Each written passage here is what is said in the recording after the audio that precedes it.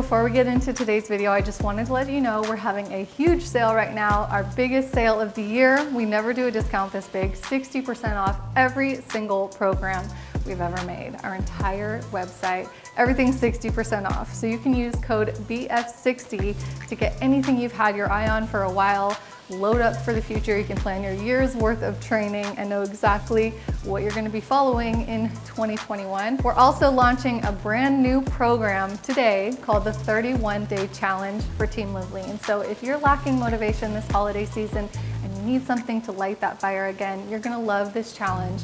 New, different, dynamic, interesting, and fun workouts to keep you fit all through the holidays. For Team Live Lean members, it's already included in your account. If you're not a member, you can buy it separately and that would be included in the 60% off discount as well. So remember, this discount ends at midnight. So don't hesitate. If there's something you've been wanting, get it now. We always offer a 30 day money back guarantee on all programs and nutrition courses. So I'll leave the link in the description box below for you to shop as well as the coupon code BF60 to remove 60% from anything you want. So let's get started with today's video. Hi, welcome back to Live Lean TV. Today I'm gonna teach you some alternative moves to replace the adductor inner thigh and abductor outer thigh machines so that you don't need to go to the gym. These moves can completely replace the need for those machines and I can show you how you can replace them using nothing, just what you have at home, which is your body and the floor and that's it. So I figured instead of just demoing all the exercises for you, I would actually guide you through them as a follow along workout. We can do all six of the alternative exercises all together and get a really amazing inner uh, outer thigh burn from this. So get ready. You don't need anything, just some space around you. And we'll get started with the first exercise being a squat. And then we're gonna go side to side stepping like this to work our glutes and outer thighs. So on your mark, get in your squat stance and let's go. So you're gonna step out to the side, step together, step out to the other side and step together. Now this works the same muscles that the abductor, abductor machine works, which is the outer thighs and the upper glutes. Stay low and keep working it. Keep going. The clock is set for 20 second intervals. So on moves that alternate sides, we're just gonna do two of those in a row. Make 40 seconds. Keep going. Now don't rush it. Focus on muscle contractions doing the best quality reps you can. Okay, 20 seconds of resting. We're gonna get down into a clamshell position. You know what the clamshell is? It's when you just open your thighs like this. We're gonna do it a little bit differently. I want you to make sure that your plank is straight, and then we're gonna open as you're lifting that hip off the floor too. So don't leave your hips down.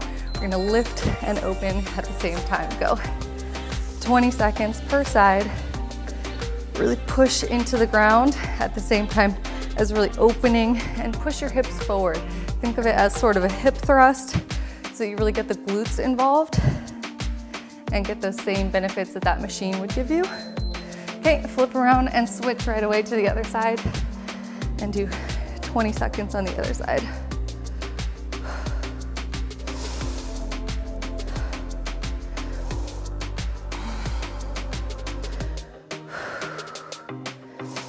Keep going work the outer thighs and the glutes. Okay, 20 seconds off, and then we're gonna go into the fire hydrant and donkey, donkey kick move. So again, working the outer thighs and glutes. Get into all fours position. We're gonna be doing a fire hydrant, which is lift to the side, and then right into donkey kick. And we'll do 20 seconds on each side, just one side at a time. So here we go. Fire hydrant, kick it up. Put it back down. Fire hydrant, and kick. Really lift as high as you can to work those outer thighs and then go up to get the glutes. Keep your core muscles tight as you do this. So really minimize the bend of your spine. Other side, up,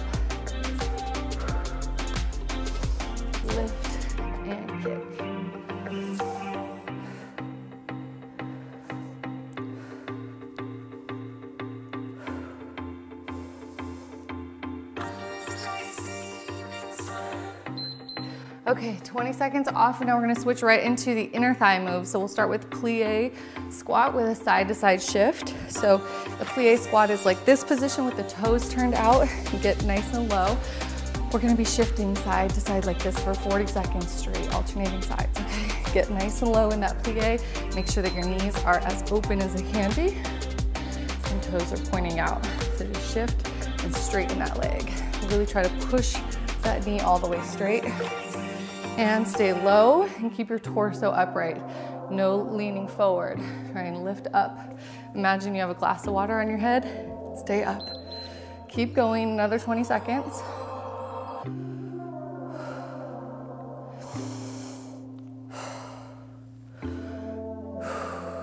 Try to really stretch that inner thigh with each side shift and stay really low to keep the tension building.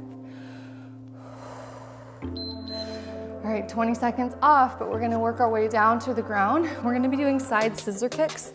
So think of like the way scissors close and open. We're gonna be doing it close, open, close, open like that. And I really want you to make an effort to tap your top leg to the ground and then switch. So tap the ground each time. Okay, ready? Lift and go. Tap and lift, tap and lift.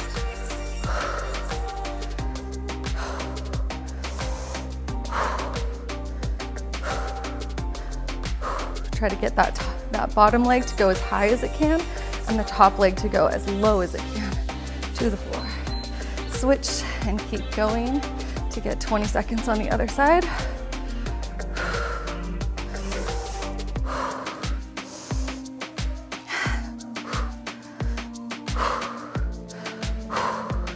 Keep it up. Keep your legs as straight as you can. Okay, 20 seconds off, and then we have one more inner thigh exercise before we go to the top of the list. So side drop lunge with a crossover. Want you to start standing, you're gonna side drop, and then this knee is gonna cross over the midline when you come back, okay? So 20 seconds only on one side, and then we'll switch sides. Side drop, get that low lunge, and then cross over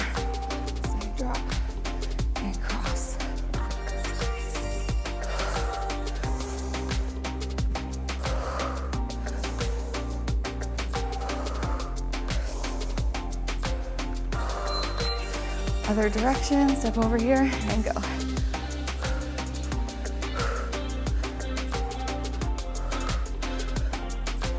Make sure this does come across your belly button line.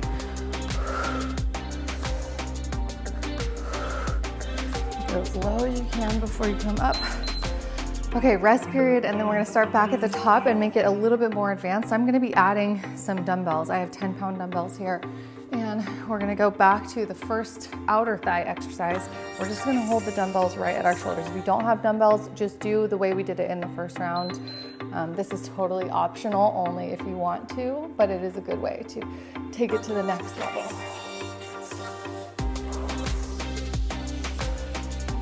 Again, open as much as you can. I really emphasize the outer thighs and glutes. Turn those toes outward. Keep going. That's just the halfway point.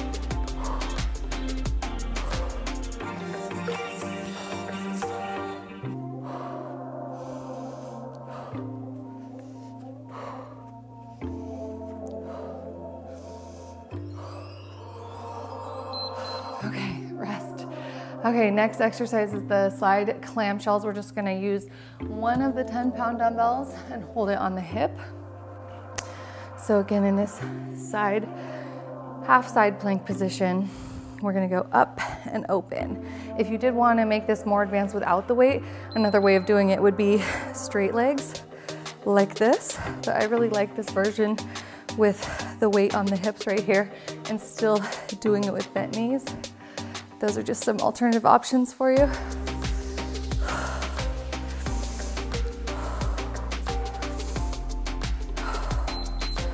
Okay, switch right away, go on the other side for 20 seconds.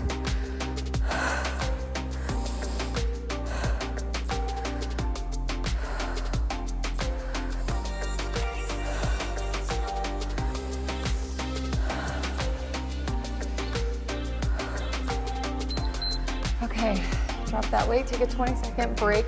We're gonna do the fire hydrant donkey kicks again and no weight added to this. If you had ankle weights, you could strap them around your ankles for this move to advance it, but I wouldn't recommend adding dumbbells to this Just really try to focus on your glute contractions. This time be very mindful of the core, keeping that super steady as you're working. Try to minimize the spine movement and maximize the glute movement. As high as you can, kick it and flex. Other side.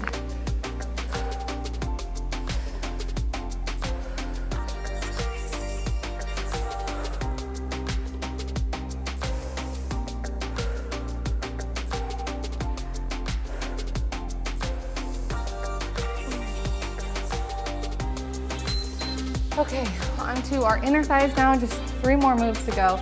With the advancements, we're gonna do grab the weights again for the plie squats with the side to side shift. So you can hold them down here, or if it feels more comfortable, do up at your shoulders again. I'm gonna do holding the weights down this time. Just make sure the shoulders are rolled back and you're not crunched up in your neck. And we're just gonna shift side to side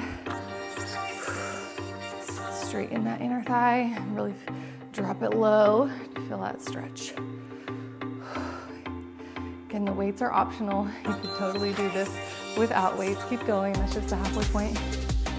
And you'll still get great benefit, especially if this is new to you. I would recommend doing it without the weights, at least on your first time through this workout.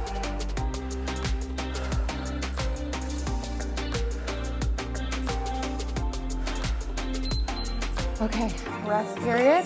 We're gonna do those side scissor kicks and again, no weights added for this one unless you had ankle weights to strap on. Okay, get on your side. Make sure that you're tilted, your hips are tilted back for this because if you're too far on your side, it's gonna be very awkward. So tilt back so your hips are facing up and go scissor kick it. Remember all the way down with the top leg, all the way up with the bottom leg.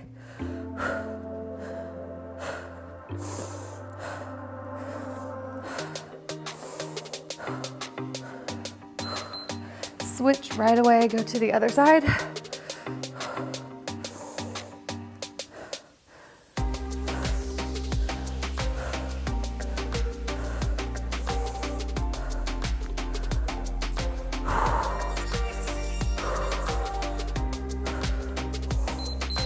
Okay, stay with me. One more exercise, the side drop lunge with the crossover. I'm gonna hold the dumbbells for this one and I will be holding them up at the shoulder so that they're out of the way of the knee moving. So again, you're gonna side drop and then cross your body over like this. So just kind of rest the weights on your shoulder caps and then you're gonna go side drop over, cross.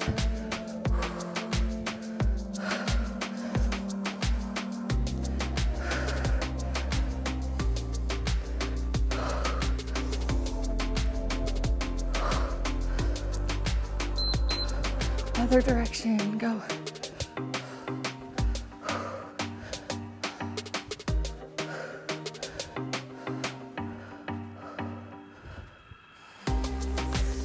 push yourself to get low and cross over. All right. So that wraps it up for this workout. That is just two rounds through it. But of course, if you wanted to get more out of this, you could turn it into three or even four rounds. If you're very advanced, you can use heavier dumbbells, even more than 10, maybe up to 20, just depending on how strong and experienced you are. And of course, I do wanna remind you that this is still effective just done with body weight only, so don't feel like you have to add weights or you have to have equipment in order to get good results. You can still just focus on your contractions and your form and still get a really good burn and really effective workout out of it. Whether you're training from home or you're out traveling and you just have access to zero workout equipment, I don't want that to stop you. Don't let that discourage you because going through this body weight only can still be amazing. So I hope you enjoyed this and you learned some different unique exercises that can replace or maybe just temporarily substitute your favorite machines at the gym. It's not that those machines are not good, it's just that there are other ways to achieve the same goal and I just wanna give you all the options. So you never feel limited or blocked from achieving the results you want no matter what situation you come across. I use a lot of these type of moves in my follow along Build a Butt 2 program, which really focuses on glutes and toning your thighs.